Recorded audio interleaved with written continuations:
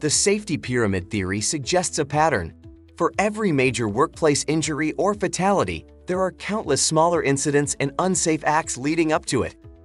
The safety pyramid dates back to the 1930s when Herbert W. Heinrich introduced the idea.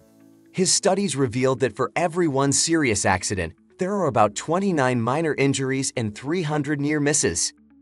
The takeaway if you can reduce incidents at the bottom of the pyramid, you'll also reduce the likelihood of major accidents at the top. At the base of the pyramid, we have unsafe acts. These are behaviors that don't always lead to immediate harm like skipping protective gear or ignoring safety protocols. These seemingly minor behaviors set the stage for something worse and often lead to more serious incidents down the line. Next up, near misses. These are the moments where things almost go wrong but don't, like a tool dropping inches away from someone. Think of near misses as red flags, urging you to take action before they turn into something serious. Then, we have minor injuries. These might seem like no big deal, a small cut or a bruise. Minor injuries are signals that there's a crack in your safety practices.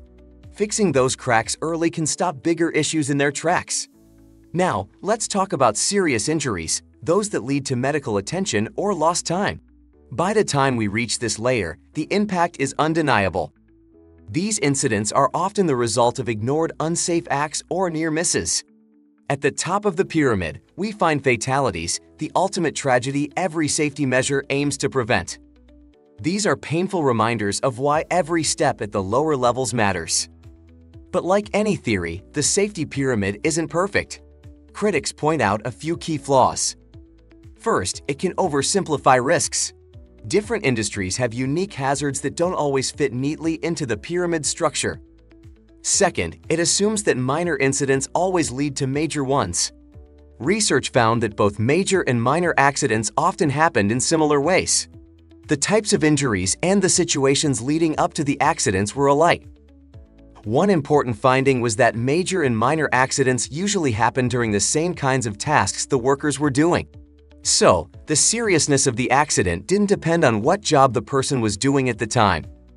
Third, it focuses on incident frequency, often missing the deeper, systemic issues behind them. And finally, the pyramid can encourage a reactive approach, chasing numbers instead of building a proactive safety culture. So, why do experts still use the safety pyramid? Because its strengths outweigh its shortcomings. Safety Pyramid serves as a foundation for smarter safety practices, allows early pattern recognition, and provides incident insights, overall helping to build a resilient safety culture. To break the chain of events indicated in the safety pyramid theory, we pair it with the hierarchy of controls, a strategy that tackles risks at their source. These controls work together to reduce risks at every level of the pyramid. For example, implementing mandatory safety training and establishing standard operating procedures for machine operation use helps reduce unsafe acts. Similarly, replacing manual operations with automated processes can eliminate hazards, preventing injuries before they occur.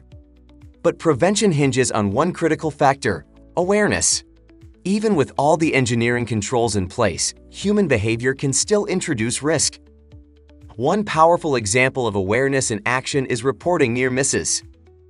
When these incidents go unreported, potential hazards remain hidden. But when employees speak up, it creates a clearer picture of what's really happening on the ground, allowing organizations to intervene before a serious injury occurs. Without this kind of awareness, prevention efforts are blind, scattered, and far less effective. So does the Heinrich Safety Pyramid theory still work?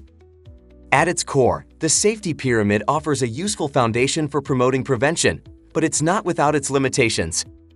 Modern safety management often goes beyond a single model, integrating multiple frameworks to achieve a deeper understanding of incidents and risks.